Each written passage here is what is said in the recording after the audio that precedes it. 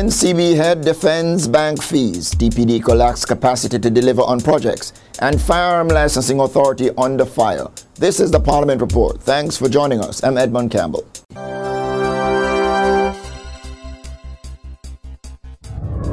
Group Managing Director of the National Commercial Bank, the NCB, Patrick Hylton, has dismissed claims that bank fees have been increased in an effort to recover income lost through the Jamaica Debt Exchange and the National Debt Exchange.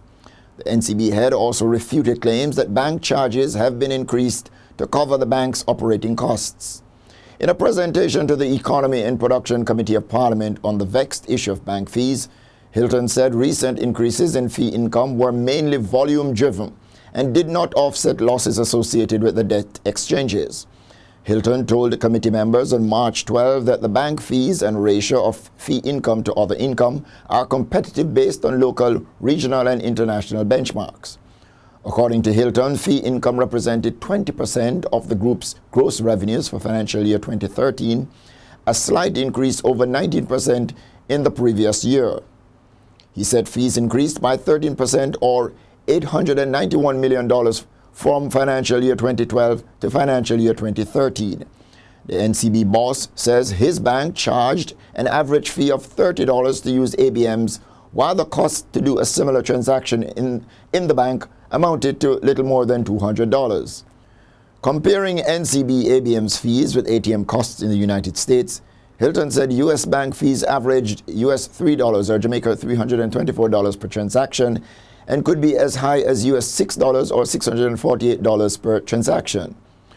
On the question of fees for dormant accounts, which attracted a wave of criticisms from members of the public, Hylton said these accounts required an enhanced level of monitoring given their susceptibility to fraud, and as such, additional resources are required to manage this portfolio.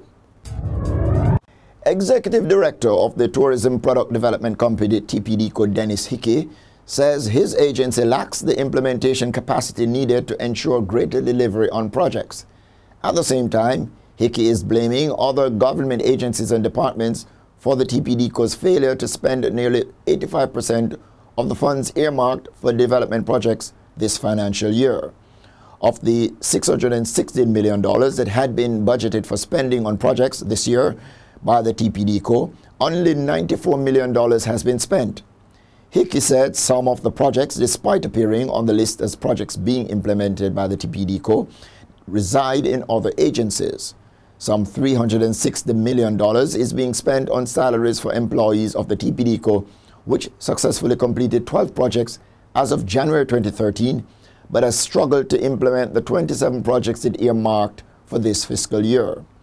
However, committee member Audley Shaw blasted TPDCO for its record, saying its performance level was disgraceful. The Firearm Licensing Authority, the FLA, found itself in the firing line of Parliament's Public Accounts Committee PAC on March 11. The FLA drew the ire of PAC members when it was revealed that the authority was paying a security company $17.5 million per annum for services rendered and could not produce a, a contract. The security firm has been providing services to the FLA over the last eight years.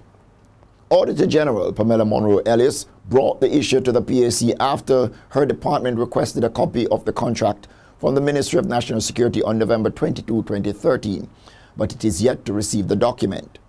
Permanent Secretary in the Ministry of National Security, Major General Stewart Saunders, advised the PAC that security services were being provided at the FLA without a contract. He said the ministry had done extensive searches for a copy of the contract, but to date it has not been found. Committee member Julian Robbins asked the top brass of the Ministry of National Security and the FLA on what basis payments were being made to the security company and whether the issue of value for money was being taken into consideration. Another committee member, Everald Warmington, said he found the current arrangement strange, noting that he could not recall a situation like this over the 30 years he has been in Parliament. The Electoral Commission of Jamaica, the ECJ, is to be summoned to appear before Parliament's Public Administration and Appropriations Committee, the PAAC, to answer questions about the multi-million dollar salaries paid to its commissioners. The ECJ had resisted appearing before the committee, which has been mandated by the Parliament to consider and report on two motions brought by Southwest St. Catherine Member of Parliament Everald Warmington. Warmington wants the termination of payments being made from the public purse to political representatives on the ECJ. Nominated members of the ECJ earn just a little more than $8 million per year to sit on the commission. In addition to the ECJ resisting the call from the committee, Phillip Paulwell, who has ministerial responsibility for electoral matters, opposed the commission's appearance. But PAAC Chairman Edmund Bartlett announced that he has received a ruling from the Clerk to the Houses of Parliament, Heather Cooke, that the ECJ should appear.